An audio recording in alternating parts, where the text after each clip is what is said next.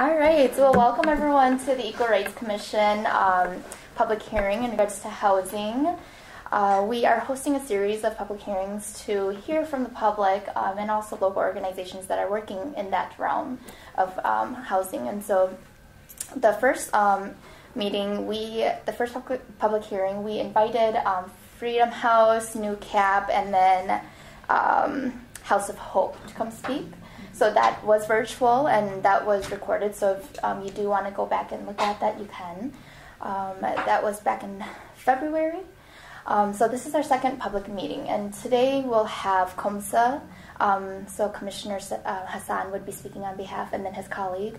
And then we have Golden House. Um, Amanda is her name. She's running a little late.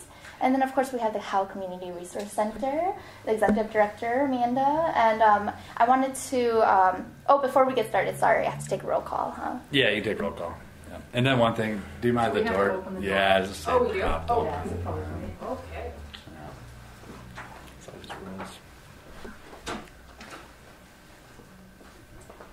All right, so um, when I call your name, please say um, I or here. Commissioner Shelton? Here. Commissioner Vinson? Here. Commissioner Hassan? Yeah.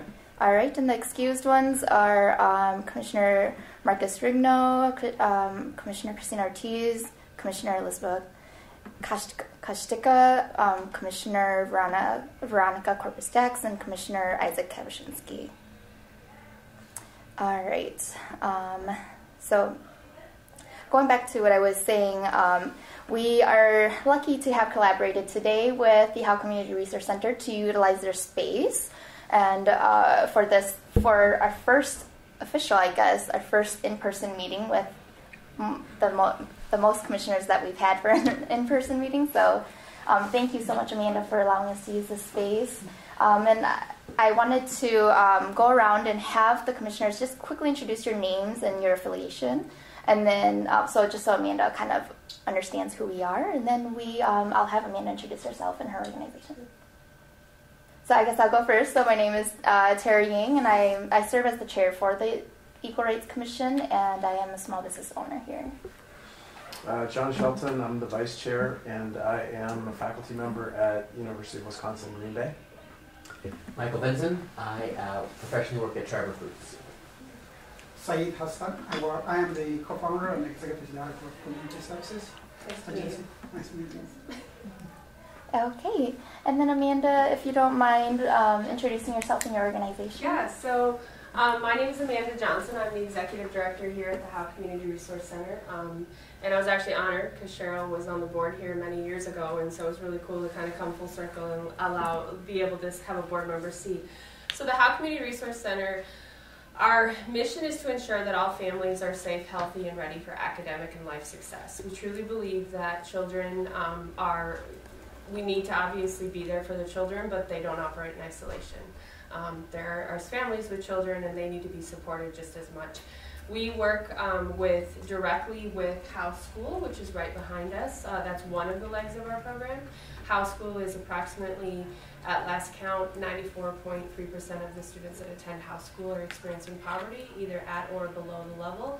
And so while that doesn't always mean there are barriers and that there are issues, there, there sometimes are. And so we wrap around the school as a community school effort. Uh, we're the only, there, Aldo is a community school, but as far as the, the definition that we use for a community school, we're a neighborhood hub that wraps around the school to address everything from basic needs, academic support, extended learning opportunities.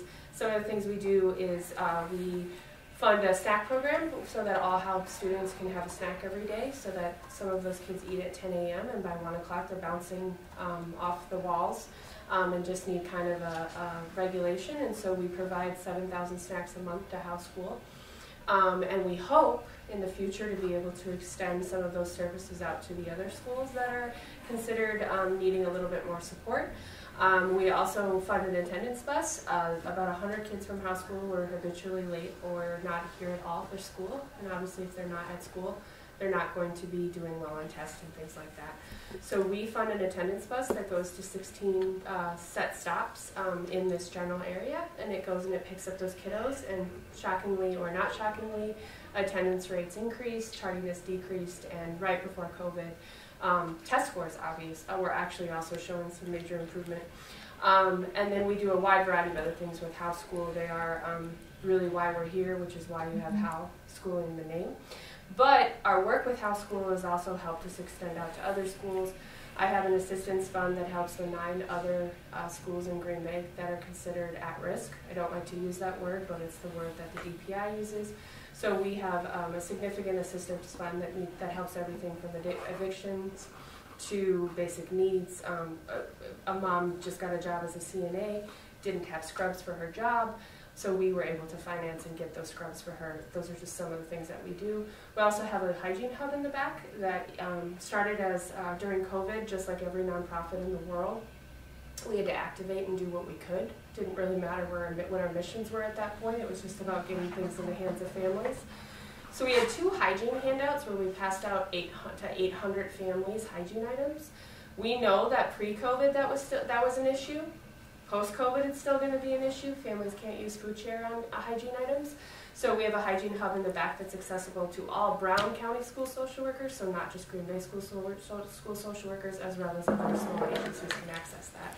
In addition to our work with Howe School, we have an intensive home visitation program that works for prevention. We're trying to um, walk alongside families and recognize that there are a lot of barriers that exist for families and we help to address those barriers. And so we have an intensive home visitation program that goes into the home at least twice a month with families and sits and works with them in their parenting journey. We also have, um, we are very proud to announce that we, um, we waited, we weren't going to wait anymore for uh, the school to get, uh, to get Howe a mental health professional, so we made one ourselves.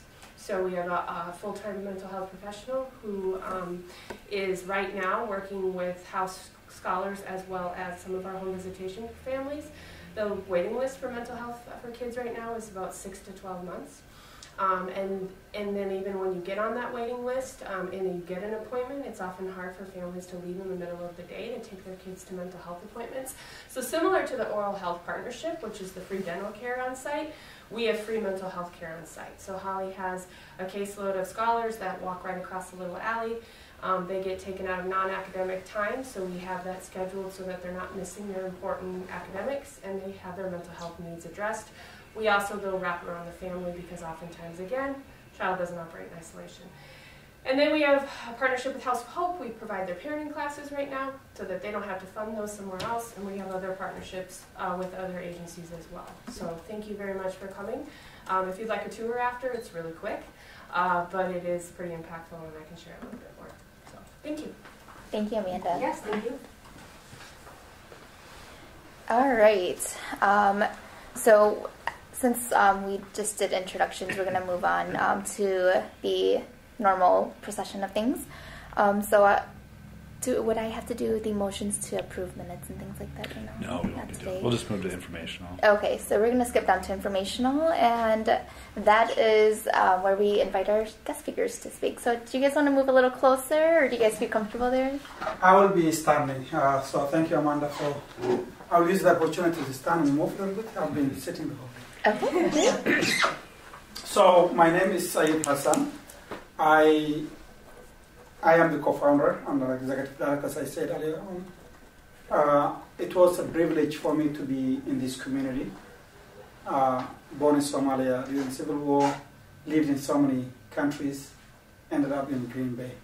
So I can I consider myself as a lucky one, surviving through that, you know, considering the time I was growing up and what happened during that time, and having reflection of where those age mates, um, you know, age mates, my age mates are. Luckily now we could, uh, some of them meet virtually. Facebook is just creating a lot of uh, people whom I thought they were they died a long time ago are now communicating with me. So um, it's just that under precarious condition I lived. Coming to Green Bay and living in this country was another additional challenge for me. Um, I lived prior to this in South Africa. Uh, South Africa was a challenge for foreigners, and then coming to United States was a beacon of hope for me and realization of American dream. Was that was that true? To an extent, yes. To a lot of extent, no. Why did I say that? So when I came here, the I first came uh, through this cape of xenophobic attacks leveled against foreign nationals. That's minus the problem that I fled Somalia, the civil war. Um, in South Africa, I had my legal status as a refugee, hoping that after five years I'll qualify to be a South African and then operate like any other South African. Little did I know that I was not given that opportunity, even though I had my master's degree from South Africa. Uh, joining my family who moved here a long time ago as a family reunification, as well as running away from the xenophobic attacks, was for me a picture of hope, as I said earlier on. But coming to Green Bay for me in 2015 was a combination of happiness and at the same time I felt that I wasn't fitting in one of the communities. Um, I was considered black African American, but I'm not black African American. I'm black, but not African American. You know, under that definition, I found a little bit irony because in, in South Africa, I called myself Somali because there were other blacks in there. So the definition wasn't actually telling what barriers I was carrying. The only way they could identify me as Somali is just like I was Somali speaking, and those are some of the agencies such, uh, such as the school district or um, the hospitals, the health system could identify me as Somali speaking. And that's the only way that can be identified from any other black African American. So having said that, um, I volunteered in the Job Center, Wisconsin. I saw firsthand what the refugees and immigrants were facing, barriers. And then the idea of COMSA was born having some consultation with uh, folks in the area, the religious groups, elders, the women, youth, then we decided to have COMSA as a nonprofit organization that is going to serve individuals like me who are not having easy time to, to fit into the society and navigate resources around. So COMSA is actually exists to remove barriers uh, made by, you know, was created by Refugee for Refugees uh, to, to, to remove the barriers where, where we can in the following areas. Education, um, we have a third school program. Most of the kids that come to COMSA either had interrupted learning or a gap in their learning. They were in, in the refugee camps and they never had any substantial education. Health, there's a lot of health, preferably health issues, preferably mental health, which is not yet a problem that's not solved within uh, within the community. Health, you know, mental health by itself is a very foreign concept. So how do you how do you let the providers understand what mental health is in our community? How can you how can the community understand what mental health means. So that's a, battle that we are trying to fight every day, and we don't have an answer yet. Social issues or employment. Um, there's a lot of discrimination within the employment area. Uh, we have been working uh, closely with some companies who employ refugees, immigrants. Some of them have been very nice in accommodating them and creating an environment where refugees and immigrants can coexist with their uh, other co-workers. But there are others within Green Bay area that we are trying to to work together. You know, our our job is not to provoke anyone. Our job is just to help them so that they can have uh, employees who come every day because they are valued, and the employees get paid. That's what they are coming for, and they get also valued as a human being. But there's a lot of subtle um, discrimination going on um, that we are working with, uh, you know, area, um, you know, communities to make sure that we tackle it. Housing is the another challenge that we are tackling that I'm going to let Aaron Hure to talk about briefly. But Green Bay has been, we have been losing home uh, families to Minneapolis specifically to Minneapolis and St. Paul, because there is a large existing uh, refugees uh, area in, in that area. So there were two, there were certain elements that were acting as push and pull factor. So when we talk about when we when I got to Minneapolis and talk about you know Green Bay, eventually with folks like me who got six seven kids, they they want Green Bay because they want somewhere quieter for their kids, and that can be a pull factor for them. But what are the push factors? Things like non-existence of culturally customized childcare. Because classical example is my wife. She's currently on pound. She's not working. And one thing is we have three kids which are almost like triple, triplets uh, that needs, uh, you know, culturally customized daycare and we cannot, cannot find, find it here. And uh, before COVID, my wife moved to Minneapolis just to work. And uh, when COVID happened, she decided to come back because, you know, daycares were closed. So I, I brought my wife back because of COVID 19. So that's one thing I could say COVID 19 has done for me. so, and then um, what are the other push factors? You know, like jobs. You know, in, in Minneapolis, there are a lot of areas where are established businesses, you know, by former uh, foreigners who can easily employ those folks and they can easily walk the way they want to walk, the way they, they can talk the way they want to talk. Nobody charges them, but they do the work actually that person wants them to work, and that person understands their culture. And the other thing is housing. And I, want, I, don't, I don't want to talk about housing a lot. I, Adam got a lot of, um, because he works in the front desk and meets this every day. So housing was another culprit that was acting as a push factor. That individuals come in here, they stay for some time, looking for housing. They stay with friends and families, you know, at a given time when they couldn't find affordable housing or housing that fits their family size, they end up going back. So I'm going to invite my colleague Aaron Hure to take it from there.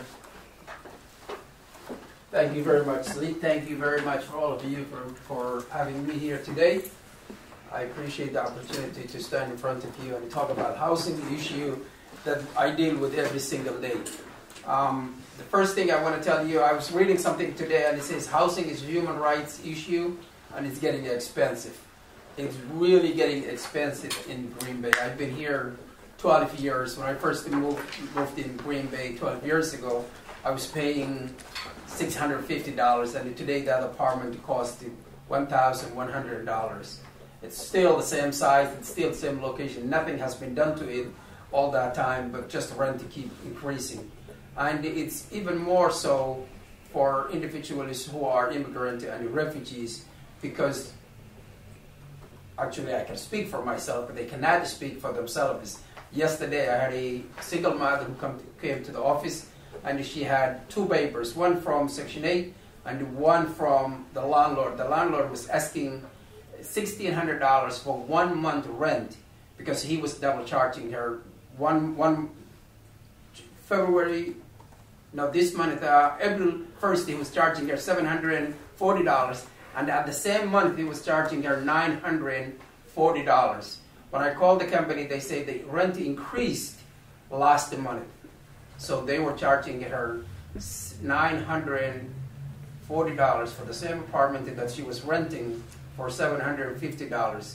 Section 8 is only willing to pay $740. She's not working, single mother, and she doesn't have a way to pay the difference. So she was asking us if we can help her out. I called the company, I called Section 8, I'm still waiting call from Section 8.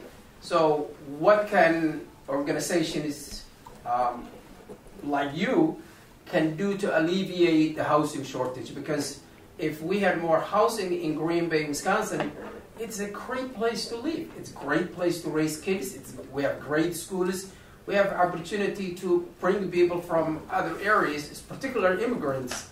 But we can't bring immigrants in Green Bay, Wisconsin, if we don't have housing. We have the, the new Afghan refugees in Green Bay, Wisconsin, and some of them were living in Airbnbs and the university campuses until recently because we just didn't have housing. People, I know Catholic Charities trying as best as it can, but you can't mind, if they can't build a home in a couple of weeks. So we need a long-term planning for housing for anybody. It doesn't have to be only for refugees, but we need long-term housing planning for people of, low income. Because every single person is not going to be a doctor or a lawyer. We need a working people's homes so they can afford and live decent, decent areas with a comfortable rent. You don't have to pay two bedroom apartment for $950 that increased in, in just two months. In addition to that, a lot of Somalian families with large, with a lot of children are moving out of Wisconsin to Green, uh, to Minnesota because they just simply cannot find large homes to accommodate their children. What can we do as a community, as a city, as a, a county to encourage landlords to build homes that are more than two bedrooms or three bedrooms? They need four or five bedrooms because they have six, seven, eight, nine, ten kids. If you have ten kids and you're living three bedroom, that's not going to be feasible. It, one, the code doesn't allow. Second, every room is going to be three people. It's too. It's, you can't. You can't. You, you can't have a reasonable accommodation for children if they're living three or four in one bedroom. So what can what can we do to alleviate that situation so we don't have families moving in every six months, every three months, every three months we have three or four families moving out of Wisconsin, Green Bay to Minnesota because they simply cannot find large homes to accommodate their large families. That's all I have to say. If you have any questions, I'll be more than happy to give you specific examples of individuals that we helped who were struggling, who literally had to move out of Green Bay because they just could not find housing. Thank you very much. I just wanted to add um, one remark on specifically on uh, housing itself. In Minnesota, I've been communicating with folks who are purchasing homes. So there is, uh, you know, traditional mortgage or traditional financing doesn't suit some of the refugees who prescribe to the Islamic culture.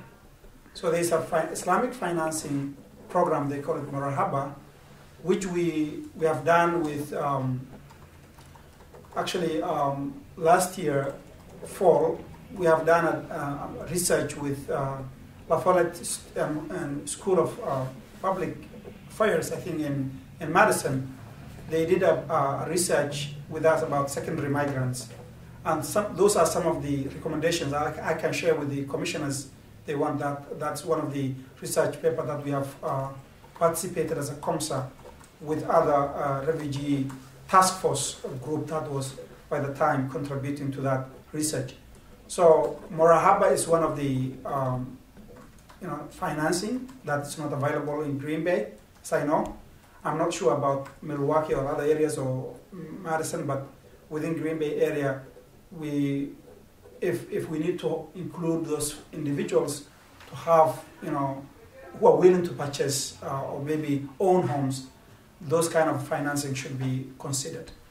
That's available in the Twin Cities? That's correct. Muhammad Raghi, my colleague who co-founded COMSA with me, got his uh, five bedroom through the uh, financing system. Forgive my ignorance. What is different about that, that system?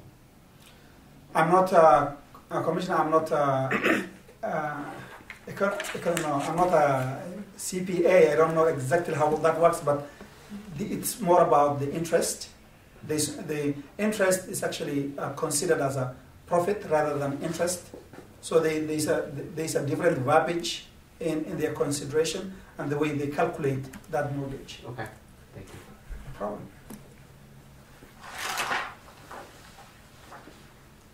I have a question. So the families that are moving to Minneapolis that need those large homes, they're finding the houses in Minneapolis to buy and to rent? To rent, To Correct. rent, but to rent. not so much to buy? Not so much to buy, but Okay. majority, the ones that I know of, the ones that I've been communicating with, normally rent, they find the apartment to, to rent in Minneapolis, unlike, unlike Green Bay. Right, larger, because it's hard to find those, Exactly. those larger units, yep. Right. So, so uh, there was a, I think there was a um, representation in Minne- in Minnesota area that uh, someone from a refugee descent was occupying a substantive position within the city of Minneapolis uh, about specifically on housing. And there was another position on economic development where individuals were included, uh, so to speak, from top up. Um, so I, I answered that question for those folks who are low income, but folks who are professionals and who able to purchase homes, who are ending up purchasing homes in, in Minneapolis. So as far as I know, I know a few folks who are professional, are teachers and nurses and doctors who are who own homes, and uh, I know them. I can count them like ten right now that I know. In Green Bay, I think uh, apart from the Habitat of Habitat for Humanity, which is actually also a very lengthy waiting process, which requires a lot of time from families to, you know, we do have about three to four families who own homes through that program. Other than that, you know, we, we don't have um, ownership in, for, you know, within the refugees and immigrants, but we have a lot of renters. Uh, fir- first of all, uh, Aden, thank you for being here tonight. Um, really appreciate it. Um, you know, you, you talked about Section 8 vouchers, and this is something we talked about the, in our first set of hearings. You know, you, you advocate with and for a lot of families. Do you find landlords, I, I want to put this delicately, but do, do you find that they uh, tend to discriminate against folks with Section 8 vouchers, and specifically, do they, do they discriminate against refugees who have Section 8 vouchers? They definitely do discriminate if you have a Section 8 voucher. There are only certain limited areas that are willing to accept Section 8 housing. If you go to Howard, if you go to Howard, uh, Suamico area, you're not going to be able to find uh, any houses that are accepting Section 8.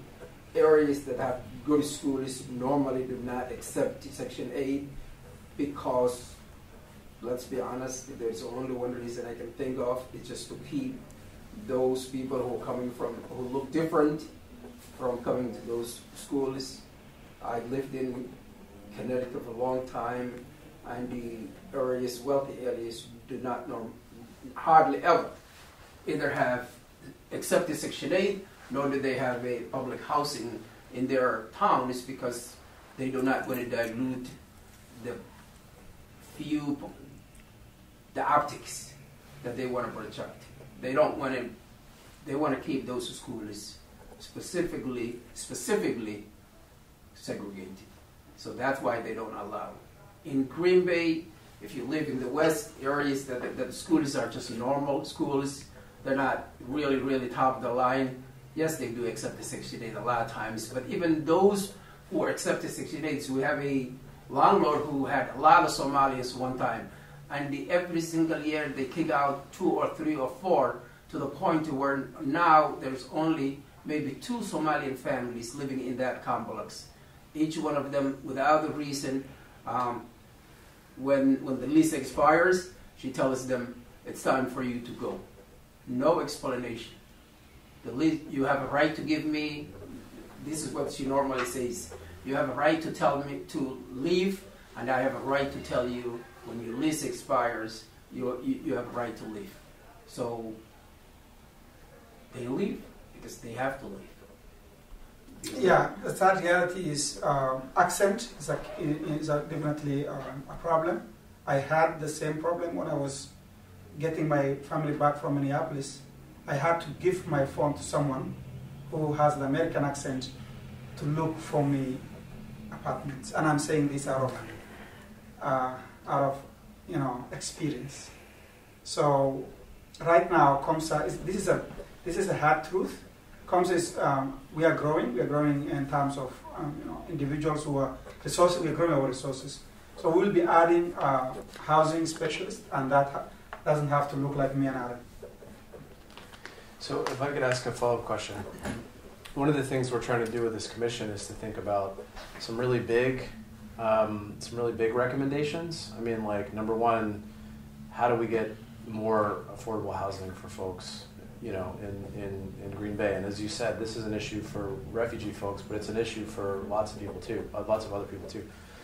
Um, but in terms of smaller things that we can advocate for, I mean, one of the things that strikes me is, you know, we, we should have some resources for renters when they feel like they've been a victim of discrimination or somebody's not right. So, so that you don't have to have a housing coordinator. You know, maybe that's something the city could invest in. So if, if you're noticing somebody's having a hard time with a landlord, maybe you have the, the city provide an advocate, right, who's, on, who's specifically on the sides of tenants, right? I mean, do you think that would be something that, that might help folks, especially who are looking for housing and running into this brick wall of people either not taking Section 8 vouchers or it being an issue because of their accent? Like, do you think something like that would be helpful? I think any time that you can combat a discrimination, whether it is your color, your religion, your skin, or your language, it's a great thing. Any time that you allow people to have a fair share in life, it's wonderful. If the city can invest in that position, I would wholeheartedly support it. I think it would be wonderful. I think it would be a place where the tenants can report landlords who are not fixing the apartments. And when something is broken, they're not fixing it. So as soon as the land, the, the tenants leave the apartment, they, they charge an outrageous charges because they have not been fixing anything for the last two, or three years. The tenant was living in the apartment, where and the, families can't afford it. I, rem, I remember I was just talking to a, a, gentleman who moved from here to Chicago, and they sent him bill for three thousand dollars, and they took his after they deducted the deposit. So the, the bill was five thousand dollars. They took his deposit. Now he owes them three hundred three thousand dollars, and the he doesn't have a way to pay for that because they have not fixed anything while he was living there. Every time he called, they, they said we will send to someone.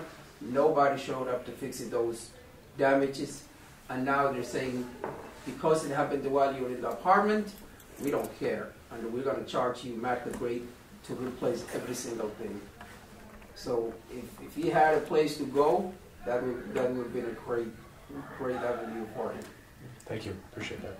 The other, the other thing that's also uh, that we need to, as a commission, is going to look into it. And I have a question about, you know, some of the things that I have been seeing uh, about price regulation. You know, there was one. There, there are few landlords who specifically rent to refugees and immigrants, and they ask way, way too much. So, in that respect, where can we draw the line? Who can we speak to? Is it going to be issues regarding uh, consumer protection? Is it, you know, falls under some, some other areas? So those are some of the things that we, we have been seeing a lot. And the other thing is individuals just come and sign whatever they want to sign because they are, just like the issues uh, John and I have been working with in terms of employment uh, discrimination. They sign because they don't have housing. They, they, have, they want something, they want a roof over their head of their, for, their, for their kids. So they just do anything and everything. They don't even understand the language they're signing, and they do it just for the sake of for their kids. So in that respect, everything else was up. Like this gentleman who moved out, and he was they took his deposit, and then now they told him to give another three thousand dollars. So there is a great, great deal of discrimination from any facet, from any angle. So it's not just where can we start. It's what it's just the holistic way of understanding uh, this ugly animal of how can we tackle it, you know. But you're saying there are some landlords that are charging refugees more than they would charge someone That's else. correct. It happens in the Hispanic community as well. Can I freely speak, or do I have to raise my hand? Yeah. How does this I think so. So, I, so we work in the prevention field, right? And so my my my challenge is if, if is that's fantastic to have a position like that, right?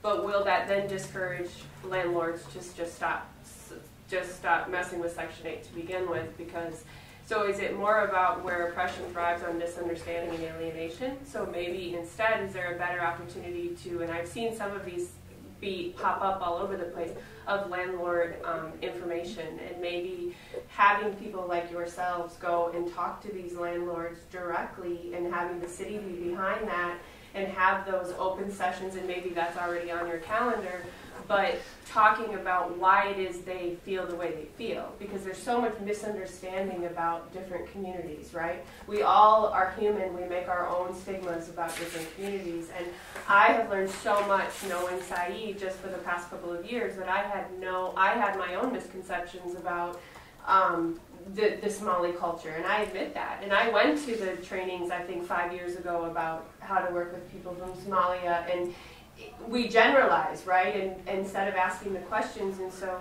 I feel like more time could be spent instead of not necessarily attacking the landlords, because I know that's what you're not you're not doing. Because believe me, this is happening for the Hispanic community just as much as it's happening for the Somali community. It's happening for any refugee, really all anyone low income. I mean, they're the, we we saw a huge increase after COVID of exactly what you described. Rent was 700, and then all of a sudden the next month rent was a thousand, and the justification was, well, I you didn't have to pay your rent all the way during COVID, and so now I have to charge you more, right? And so that that was a double-edged sword for many of our families that that moratorium because it gave almost landlords in some aspects permission to all of a sudden start charging all of this money with a justification, right?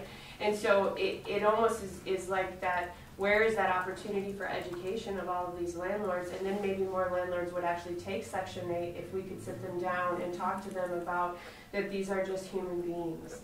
And there is I think work to be done on the Section 8 side of things, though, about education for families that are going into apartments. I think you don't know what you don't know.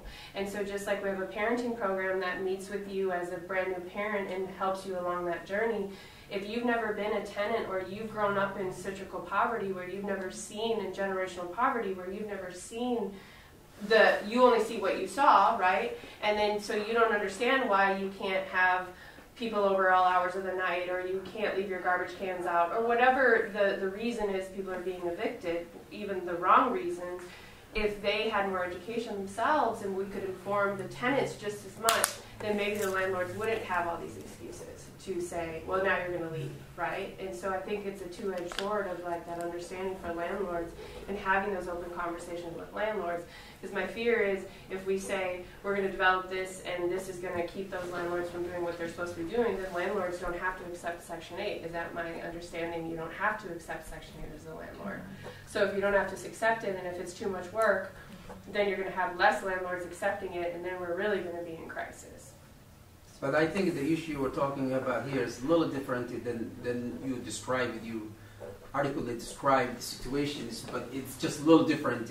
That this is only applies to people of certain color or certain oh absolutely. We work with hispanics. and, and when mm-hmm. when you are being singled out we, we've tried to talk to we tried to talk to the landlord and the, the only thing that she says is i have right to do this. Right. You have a right to do you, you're right. This is your proper you yeah. are the manage, management the property management so you have you have a right but at least explain to the individual why they're being evicted accepting that you have a right to do. It. We all have a right to do certain things, but does it necessarily mean we have to do it?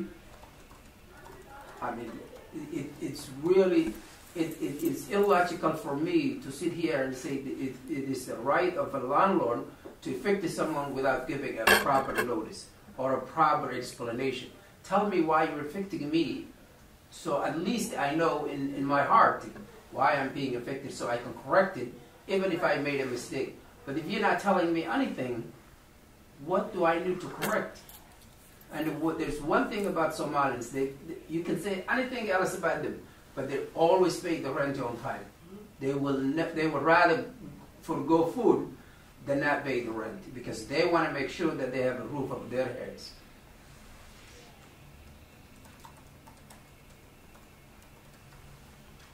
In addition to what we've discussed so far, are there any other enforcement mechanisms that you would encourage uh, the commission and the city to think about to hold landlords more accountable when they are engaging in discriminatory behavior? I think that's a great question. honestly. And one more thing I would add is there are sometimes landlords who purchase apartments, and it, there are tenants who have a lease.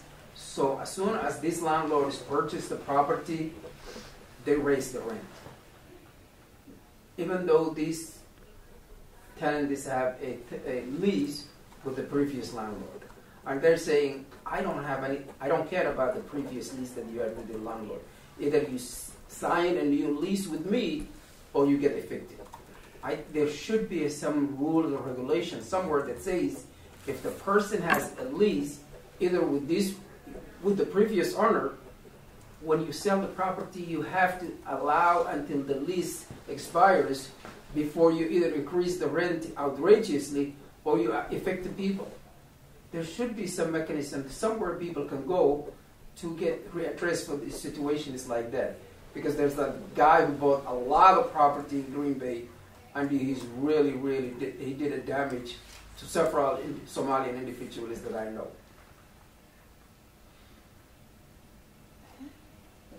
Couple of resources, and I'll give you my card, and they are not by any means at the level they need to be in the city. I'll give you that. But we do have a person under contract who used to work for the Consumer Protection Division. You know, those divisions kind of went away with the prior governor, those departments did. But we were able to hire this guy who's worked for, for thirty years for consumer protection, and he is a landlord.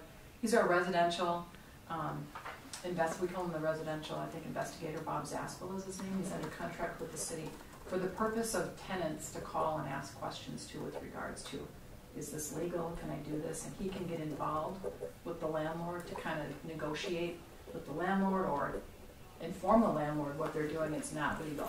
So we, we have that one resource, and we also, through our block grant programs, we are under contract with Milwaukee Metropolitan Fair Housing, which is an agency that will follow up on like racial discrimination, or they'll send testers out if they need to, or if there's a specific landlord that we think there's a problem with, they'll investigate that and they'll follow up with those complaints uh, for fair housing. So we do have a couple of resources. Again, I, I'm sure that we need more than what we have, but at least we have something that would help out some.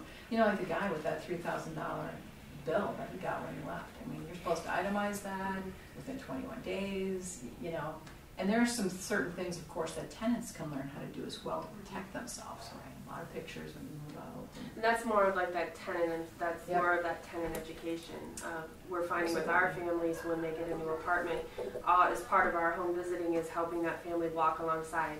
Did you get pictures of the apartment? Yep. Did you, can we, let, let us help you investigate your lease so we can see that, yep, they do have the right, because sometimes the lease will say right on there, unfortunately, if we're purchased, we, you may be evicted, right? And so then helping understand that, even though it's not fair, right? It sure isn't fair, but if it's in the lease, then it's a legal, you know, document.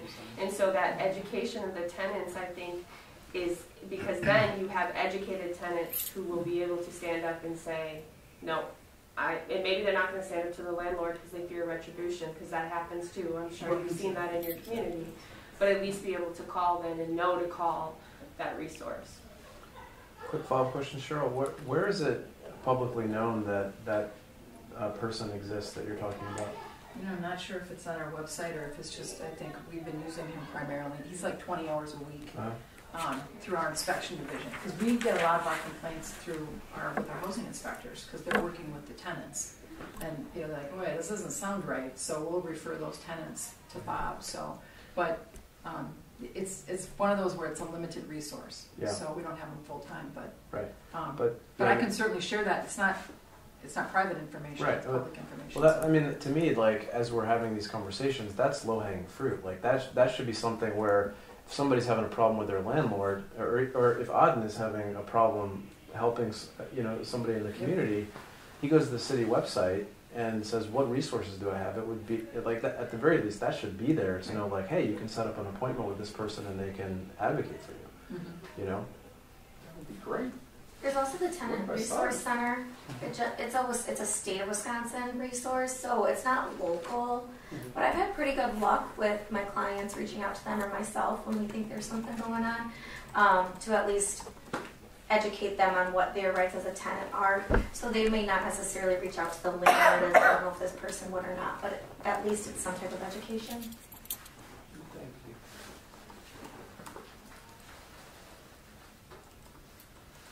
Yeah, I just wanted to say that um, I, the Asian American um, community resonates with some of the similar situations and stories that you've shared as well. We do see a lot of um, some of our families moving out of Green Bay because there's resources in different um, cities, and Minnesota is obviously you know one of the main ones that we move out to, um, and so you know we are in the same predicament and.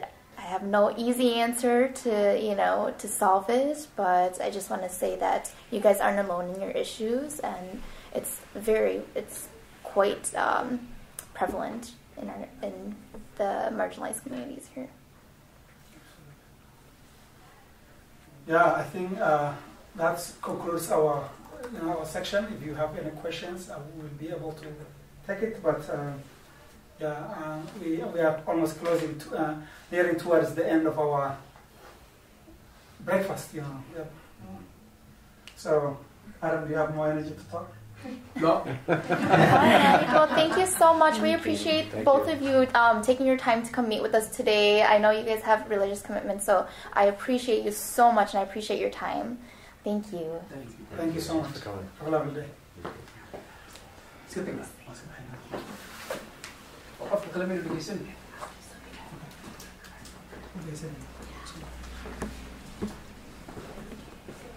All right. So while we transition, um, I wanted to invite our next guest up here, um, Amanda. Yep. There's a certain spot I have to. No, no. Um, our, our mic. We are recording this because it does is it is a public meeting, so we do have to upload it to the to the website. But um, if you can speak a little bit louder so that the mic can catch you. Um, Okay. But you're fine where you are. Uh, Amanda is um, an associate with um, Golden House, Yep. correct? Yep, I'm the rapid rehousing case manager with Golden House. Um, so I just kind of talk about housing. Yeah. Yep. You okay. can um, introduce yourself and your position there, and maybe give a little overview of Golden House. Yeah. So Golden House serves victims of domestic violence in our community. Um, men, women, children, anyone. We have our own shelter where we will shelter people when they're actively fleeing. But then my program specifically, we provide rental assistance for up to two years, and then I also do intensive case management with, with them. So um, we do sometimes monthly up to weekly home visits depending on each person's scenario and then um, also other types of case management making sure they're getting their housing we're working with the landlords um, getting them connected to food share health insurance whatever they need um, kind of when starting over. So housing is my life every day. I work with landlords. They're a different breed. No offense if anyone's a landlord but they really are. Um, i resonated a lot with what they were saying before just about one discrimination specifically with domestic violence. A lot of times i'll hear people say they don't want that person's partner coming over there and ruining the house so they're not going to rent to that person because of another person's actions. Um, they don't want trouble. They don't want these certain things. If i've had landlords in front of me say to my clients if she calls the police i'm going to evict her because i don't want police contact at my property. Um, so then my clients call me that something happened but they won't call the cops because they're scared to get evicted. Um, we also have landlords that, while we provide rental assistance and a double security deposit for our clients, they will still ask for a sign on bonus. So, outside of double security deposit, they want a triple sign on bonus. So, that will not be returned to our agency or the client because it's not a security deposit. It's just for them working with us that they get that. Um, and we have chosen not to work with those people because one, we don't, as a nonprofit agency, have the funds to do that. And if we do have those extra funds, we would actually like it to go towards our clients maybe getting a new vehicle or getting their driver's license, things that are more practical versus that person putting more money in their bank account when they're already overcharging. Um, so we do see the overcharging for rent as well. Um, HUD this year actually lowered its standards for reasonable rent. So don't know how that happened, but um, within our program, rent needs to be considered reasonable, and that's determined by HUD. And HUD decided that those amounts are going down this year. So a studio is just over $500, and that's next to impossible to find, especially with a landlord that's willing to work with us. Because um, not only do these discriminate against Section 8, but then also our program as well. Um, because we're considered housing, and they just doesn't matter who you are, what it is, they do not want housing. Um, so it's very, very challenging for us to find people a place to rent. Um, and unfortunately, a lot of people have to exit our program before we can ever find them housing because we are on a time limit according to our funders. Um, so, I think else. Uh, I also resonated with them saying that landlords don't fix anything. Um, and a lot of these places, we do inspections. Like it has to pass an inspection, which really it's just habitable. It's not even that great of living conditions. I'm going to be completely honest. Um, what HUD determines to pass inspection is just a habitable building. Habitable building. It's not abandoned. Um, so, like right now, I have a client that her tub hasn't drained water in a month, and she has four kids. So she bathes them in the tub or in the shower or in the sink. Sorry, in the kitchen. Um, because the tub won't drain and the landlord doesn't answer us, he doesn't call, he doesn't answer her, doesn't show up. But then as soon as rent isn't there for a day or the bad ones.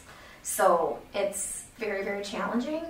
Um, it's really, really sad because a lot of our clients are just trying to get safety and we're trying to get them that as well and to maintain their housing. So it's probably the biggest, one of the biggest challenges I would say as a whole agency that we face. Because um, even outside of our program, if people are staying in, in my, my program, if people are staying in shelter, their goal is to also get them safe, stable housing. So then those advocates are struggling with the same thing that I am. And then I'm the housing person, so they come to me and I'm like, I'm having the same trouble. So we kind of go in this circle um, of housing, which is really, really challenging. So that's kind of um, just my overall of landlords and the challenges that I see every day. And then I, oh, the family sizes, that's another one that I resonated with. Um, finding anything larger than a two bedroom is next to impossible. And if it is, it's usually actually out in like Howard, Suamico, maybe not in the city limits. And those landlords don't want to work with us either for whatever reason. Um, so then people can't get housing purely because of their family size, which is another form of discrimination. They're being discriminated by how many kids they have um, that need to live with them. So then landlords are saying, nope, that's too many people living here. We can't have that. So it's another big challenge for us too. Have you seen anyone successfully um, transition from renting into purchasing a house? None of my people have ever purchased a house. Um, this program's been going for about four years. Um, we definitely have success of people continuing renting from whether it's the landlord that we kind of connected them with or they move out and find another one, um, but never purchased a house. It's just renting. So, and sometimes too, like what I've kind of seen with slumlords, what we always call them, which unfortunately we're kind of that's our only option to work with because no one else will take our housing program. Um, the amount of like fines and things that they try to do to it seems like they try to evict our clients in all honesty um, if your garbage can isn't out within 12 hours of it being picked up it's $50 fine but then again they won't come over and fix a lock on a door um, I even have a landlord, the one with the tub situation. I said, I will coordinate a plumber going there. If you pay for it, I will call them, I will set it up, I will go there, I will do all of it. Never did anything. So even to take that work off of the landlord as long as they pay for it, because that is their responsibility, um, still nothing. So I don't know what the answer is to hold landlords more accountable. I do like the idea of a person through the city. My only concern with that is um, like you said, retribution towards the renter, um, because that definitely happens as well. Where I wouldn't want them to come back and, because in all honesty, landlords can find any reason to evict somebody, in my opinion, because it's their business, which I understand. Everyone has the right to run their business as they wish, but it gets to a point where it's just like inhuman to me. Um, so even if that was available, I feel like it would deter people from continuing to work with housing programs and the last thing they want is more people asking them what they're doing with their homes and how they're renting them. Um, so that's kind of what we deal with at Golden House. So first of all, thanks for being here. Yeah. We really appreciate it. We know you're doing a lot of important work, and being here is, you know, another thing. Yeah. Um, you know, so I guess what I was kind of picturing is almost like an ombuds person kind of thing. So n- Okay. not necessarily somebody who would, you know, like necessarily put more pressure on folks, but kind of give them, you know, arm them with more resources and strategies for kind of dealing with some of these folks. Okay. Um, but you know, it's I don't think anything like that is going to solve all of these problems. I I have a couple of other questions, but I guess my first question is, you know, you, you, you mentioned the folks in your program who leave without a place to go. Like, what? Maybe this is a dumb question, but what happens to them? Um, sometimes people unfortunately end up homeless again because landlords choose not to rent to them or they choose not to take Section 8 because then a, a lot of times, if our clients, for whatever reason, maybe can't maintain employment that would pay rent, we would try to get them a voucher. And a lot of people are approved to for a voucher, but because they also have to follow HUD standards of rent, it's not affordable for many places that would take that voucher. And then also, sometimes landlords, for whatever reason, will accept our program, but not that. So then, when their time is coming to exit our program, they have a voucher, but they won't find another landlord that would accept that voucher. Even if they were a great tenant while they were in our program, that landlord will still not take that voucher.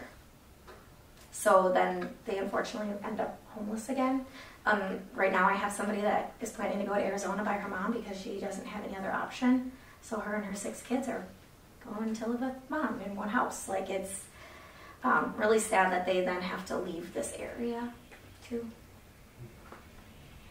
So, second question is, um, you know, you kind of talked about this a little bit, but you know, like I said, one of the things we're trying to do is come up with a, you know, set of recommendations. Um, can you talk about how, from from your perspective, uh, this issue of housing is an issue of, of gender equality in our community?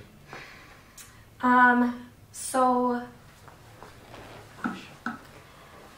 I would say definitely um, that stigma of domestic violence that comes along with it. One, most people do think of women as being a victim when we know that's not true, but the majority of people in my program are women. So trying to find them housing is very challenging because they may not have worked because while in their relationship they've experienced a lot of financial abuse or this the power and control that their abusers have over them they aren't allowed to work.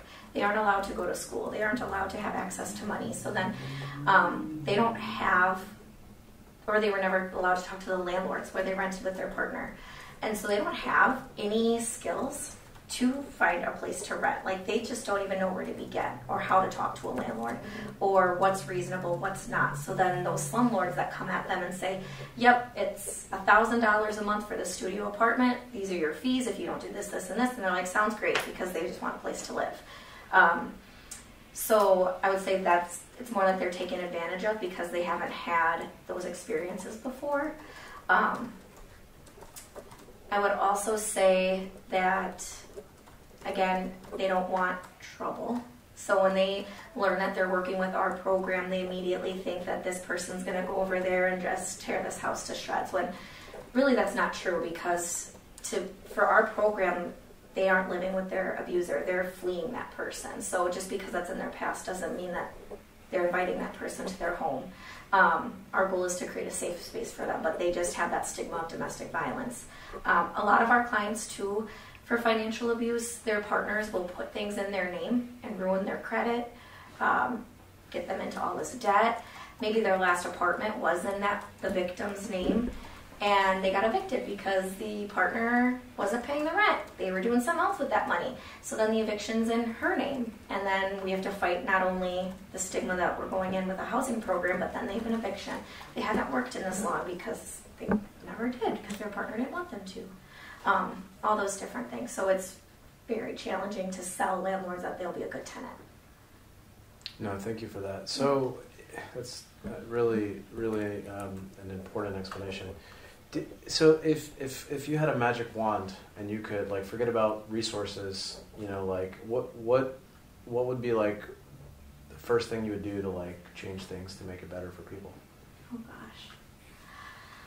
Um, I just want spaces for my families to go. whether it's the city owns them, private people own them, but I just want people that will look at.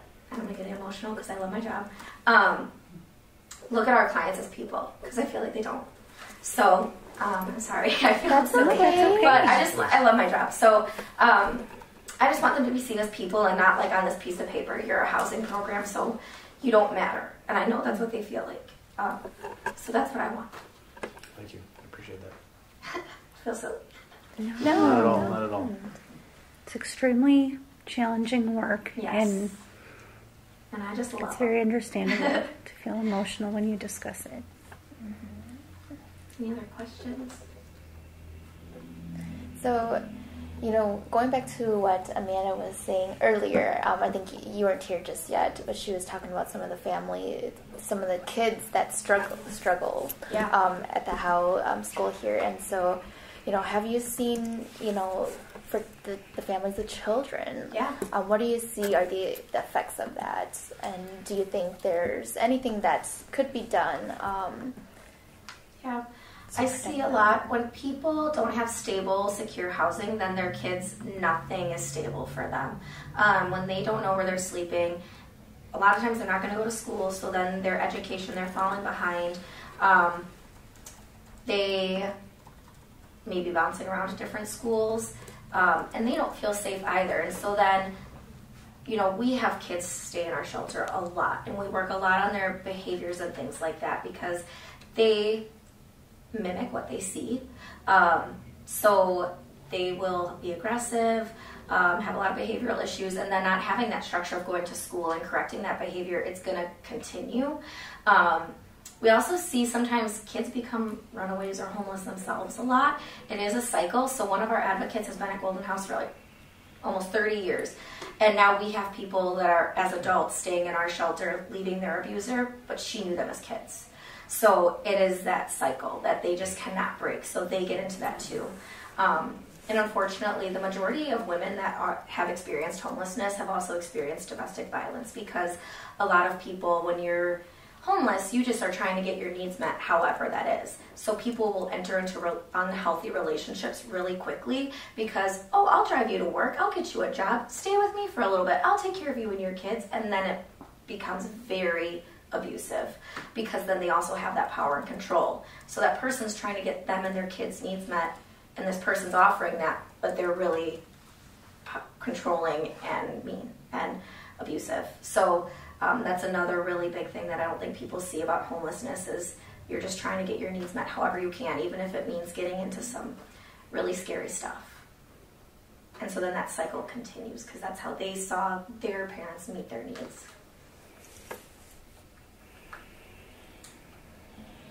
Yeah, well, thank you so much, Amanda, for coming tonight. We appreciate all the insight that you've been- able to share with us. Um, what, you know, I, I missed this earlier. Um, what I meant to say was we are going to use um, the insight that we get gather from the public and local organizations to put together recommendations for the city. Awesome. Um, and um, Cheryl is here from the city. She is the deputy Director, yeah. director. Yeah, I'm listening to you. I'm getting fired up. Oh yeah, I could talk about this all day. It's my bread and butter. Have you had, uh, like, have you had bad experiences with inspection? Like, the story you told in my head, SOP would be call the inspection department, we go out, send orders. Can't evict someone after the orders. That's what we've got the other guy for to follow up on that. But have you had bad experiences working, like, doing that standard route of inspection? Like, are landlords booting people out and, Um, not necessarily because of inspection. okay. Um, I will say some landlords are like, why do you need to do that? And it's more work for them, so they don't want to. Right. And we have our own person at Golden House that does our inspections. Um, she's certified and everything, so we're really lucky that we don't have to outsource for that. So I'm, th- I'm talking about like complaints. Like you're Oh. calling the city because you're, the, the tenant's making a complaint because the, the landlord won't fix something. Oh no, I haven't. So a lot of I haven't had clients calling the city to do that. Okay. Um, usually they call me, and then we try to work with the landlords. Um, And that's always the best case, Yes. to try to work, but Yeah. let's face it, there are some bad landlords out there. yeah, I mean, I guess I'm probably getting to that point with one landlord right now, to be completely honest, because I actually wrote him a letter that this tub hasn't been draining, and then she also like her porch door It was like when we had really bad, I think it was snowstorms or something, and the porch door literally flew off. And that's still just sitting there crooked. Um, so I wrote him a letter saying, you know, per our program, the house needs to meet XYZ standards, and until it does, we're not going to pay you rent. It's been two months. We haven't paid him rent, but we haven't heard from him either, and he hasn't fixed it. So I don't know if he just doesn't get his mail, if he doesn't care, but I'm like, I'm going to take the risk, and I'm not going to pay rent for until he fixes it because she's been there for about a year now, and that's mm-hmm. how long this has been going on. And he says he'll fix it, so I'm sending someone over there. Nothing. So then my boss was like, let's try this. So we're trying it out because we got to do something because her and her four kids can't live like that. So it's really sad. So they come to Golden House to shower and do their laundry and eat sometimes because they can't do it at their home. So how many times have, would you say, in the last few years, have you actually lodged a complaint with the city? Personally, me, never. Right. And again, I think it's just out of fear that then they wouldn't work with me again in our program because, again, as terrible as some of these landlords are, if that's my only option, I've told my boss sometimes, I'm like, I want this family housed more than I want to be morally correct right now. Like, I just want these people off the street. Um, so, unfortunately, I haven't for that reason because I have a few options and I can't risk giving that up. No, that totally makes sense. I just wanted to clarify. Yep. All right. Well, if there's no further questions, Amanda, thank you so much Thank for you. your time. Thank you very much.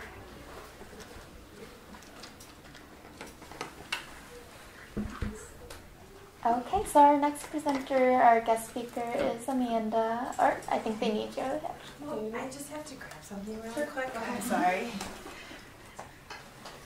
So I think a lot has already been said. Um, I think a couple things that I would want to add to this is that um, so we were so I in my my work um, before I was an executive director here I actually ran the soft program which was called supporting our families together and unfortunately it doesn't exist anymore and that program was an answer to families either waiting to get into shelter um, that were um, in the school systems because the kids were experiencing homelessness, obviously, or to get into housing. And so that program ran for about four years, and we would put them up in hotels. Um, and then work with landlords to try, try to get them in housing. So I unfortunately saw the ugly side of exactly what they're talking about, where um, landlords will just refuse to flat out rent, or the apartment will be open and we'll have a family call and they'll um, they'll show up and they'll they'll do the they'll do the you know they'll look at the apartment and they'll say they want it and the landlord to their face says okay it's yours. When I get back to the office I'll send you the information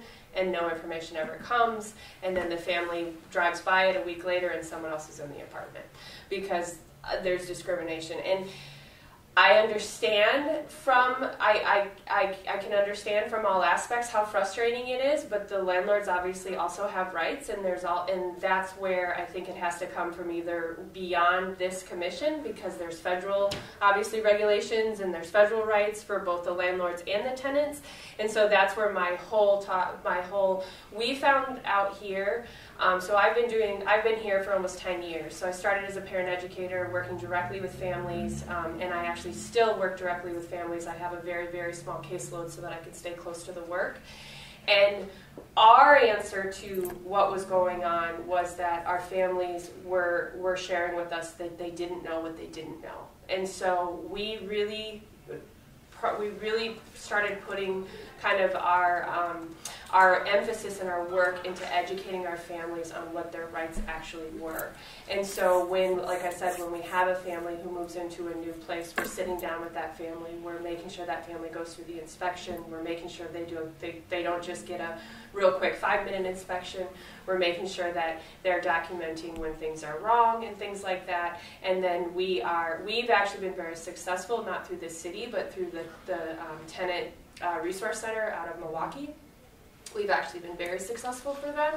We have had landlords who have um, definitely had have definitely evicted families after we've stepped in. Um, but I will tell you that we had a situation with a landlord a couple of months ago, and when he didn't know what he didn't know, and when he learned the story of what I could share of the family, his relationship with that family changed overnight. And he actually saw that family as human, and he saw that family as really trying. He he thought what he was seeing, what he realized was what he was seeing was what his own story was, not what the actual family story was. So, my mom was a was a. Um, my mom ran Meadowview East, which is that large apartment complex over off of um, uh, University. And my mom, when she started there, um, she she was there for almost 15 years. Unfortunately, she was diagnosed with Alzheimer's, so she had to walk away.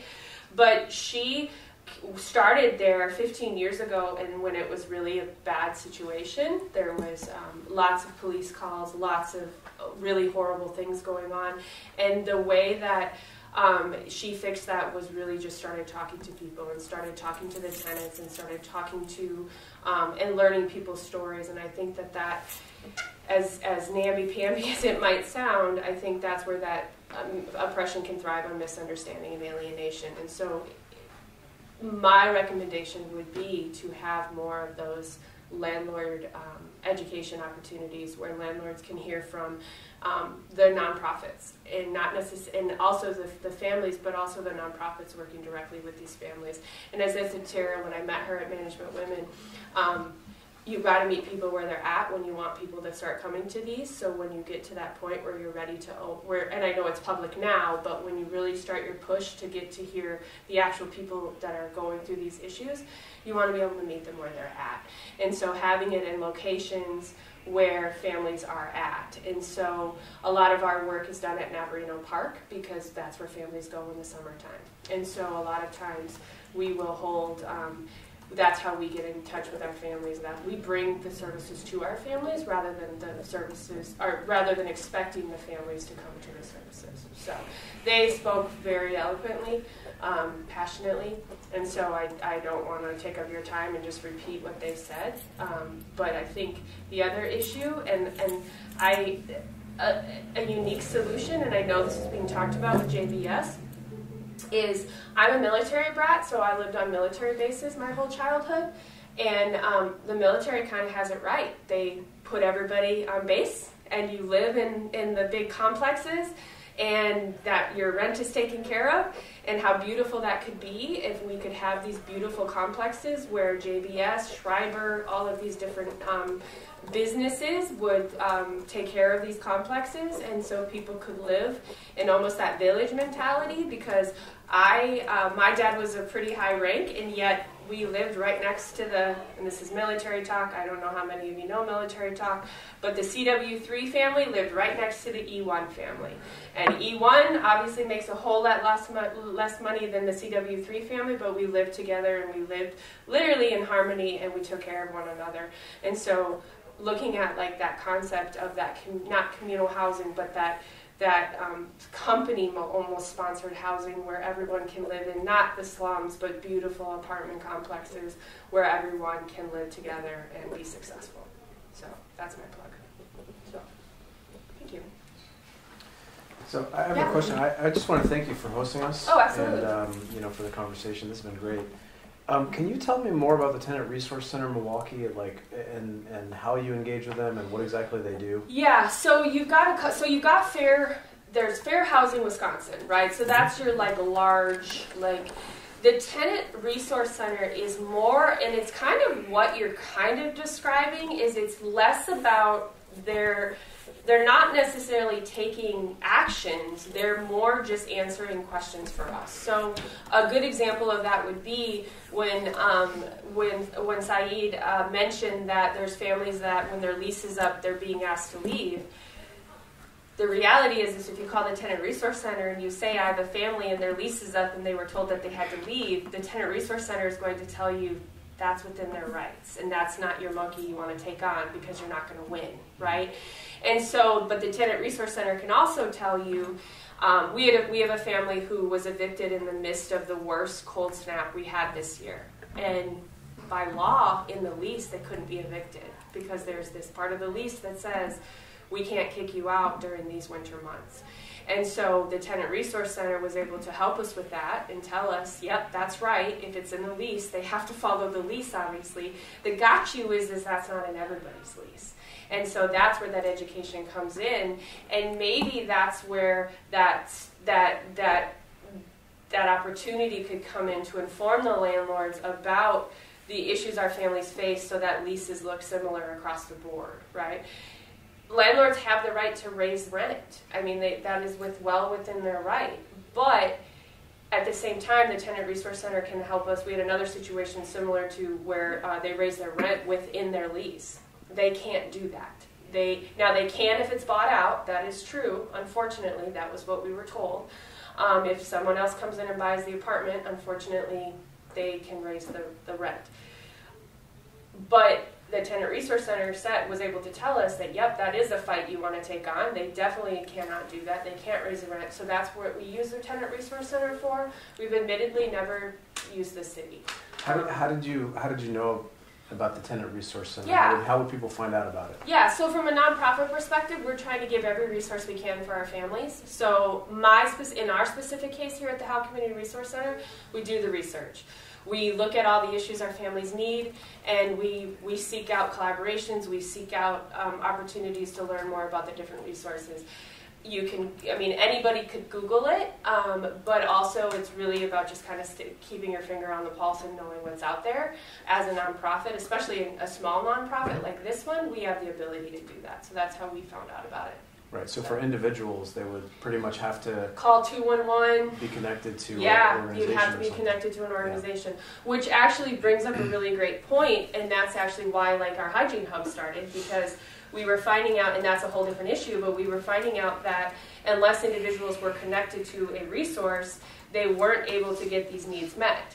And so, by making it accessible to all Green Brown County school social workers, we knew we could hit all the kids that we needed to hit because everybody goes to school, right? Mm-hmm. And so, it, that could also be maybe a campaign of letting the families know and letting the community know that this exists because it's funded, it's paid for, it's a part of the the the, the resources. But if you don't know, you don't know. Right. So I mean, imagine having something on the city website that made a big point of saying, "Hey, if you're looking for resources as a tenant, I mean, I get that landlords have rights, but it but it seems to me that everything coming from the city is more geared toward landlords. I mean, they're hundred percent. right. So and so, how do we gear things toward tenants so you they know it? about it? And then, you know, like, uh, I I mean, I don't know. Like, there's a lot of there's a lot of um, you know ways that we could some creative ways we could think about this, but you know, imagine you know, Comza making sure that when somebody signs a lease, there's like a one pager that says, "Hey, these are all the resources that you have if you want to find out like what's actually legal and what's And not." that's you know? what that's what it meant on the education Yeah, side. yeah. Because land because tenants don't know if they don't know, and so also putting it on city buses, putting it out there in places where people are, your laundromats, your libraries, Mm-hmm. finding those, identifying those places where our families are congregating and where our families are spending their time, and putting the information there.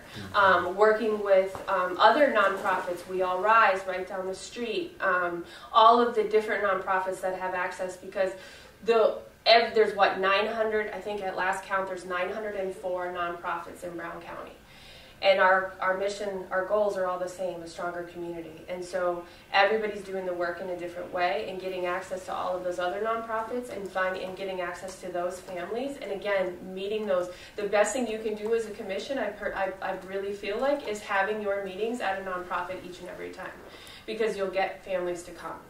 You'll get families to come. This is their safe space, and they will come if you come to their safe space.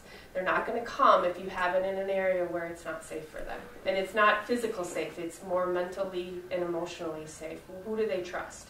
They trust us here. So if you had it here and you asked families to come in, they would come because they trust us. And that is what your nonprofits, that's where you can rely on your nonprofits to find your families to inform these decisions. Because we can stand up here till we're blue in the face and tell you what we think, but they are ultimately going to be the experts in their own lives.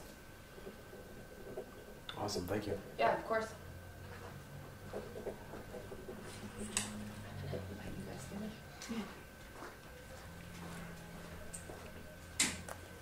Yeah, Well, tonight was really insightful. I mean, we only had three organizations, but I learned a lot. Oh yeah. Um, kind of sounds like some of the resources we have available right now aren't really um, known. So that is really low hanging fruit, like you were saying. Um, but yeah, um, tonight was just informational. Um, I don't think we have anything else on this on the agenda. Um, When is our next meeting scheduled for? Do we um, have one scheduled? we don't have one scheduled, um, but I believe we did jot down the best days and times. Um, I think we kind of voted on Mondays for Does that work for you guys Monday? Mhm. yeah. So um, my thought would be because I thought you said Tara that the first Monday doesn't work well. Yep, first Mondays are the EDA meetings. And then, sorry, unfortunately, the third every third Monday is our um, racial equity ad hoc county. So maybe we can shoot for the second Monday of every month. Yeah, second Mondays would Yes. work for me. So I think what I'll do is I'll send out the schedule to everyone. Just say this is what we're look, we're thinking. That I wouldn't have any glaring issues with it, and go from there. Mm-hmm. Sounds good. Cheryl, did you have any? Can I just, I just wanted Yeah. to inform the committee, I guess, because this had come up a couple of times, that the Brown County Housing Authority actually has a subcommittee formed for the specific purpose of looking at the relationship between the Housing Choice Voucher Program and the landlord's Okay. use of it. So we have a landlord, and, and it all came out of when the city um, passed the Equal Rights um, Amendment. Remember, they pulled Yeah. out the, Yeah. um, the rental income as a um, non-discrimination clause. So it, it kind of came as a result of that. So we have actually some apartment association people that are on that committee, which is good, because that's, we need to convince landlords to take the vouchers, because we have a lot of vouchers in Brown County. What, And that the, is a big sorry, what's the name of that committee? It's, um, it's the Brown County Housing Authority Housing Subcommittee, I think they're calling it. Okay, thanks. Um, Patrick Leifger is the executive director of the Brown County Housing Authority. So, um, we're meeting tomorrow actually on it. They've done surveys with landlords. They're trying to figure out why aren't you using the program? It's guaranteed rent. I mean, it's a good thing for a landlord to use that program.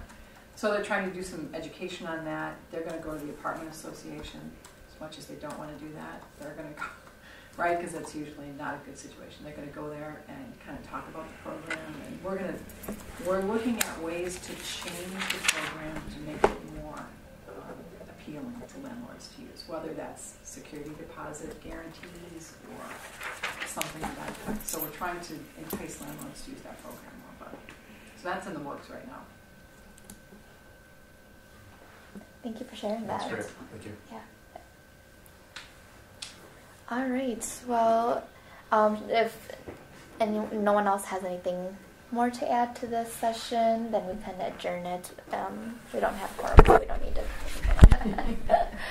so, well, thank you so much, Cheryl, for joining us today. I really This is good appreciate it. I'm glad that you came and heard um, from the organizations themselves. Um, and thank you, commissioners and um, Joe and Raya, for coming today. This is really insightful. We will dis- we'll um, get together and discuss um, how to move forward for the, the next one. I believe the next one, Cheryl, we wanted to invite the public and the members who are actually experiencing things to come and speak. Um, so we'll discuss that, and then we'll also extend the invitation once we figure that out. It's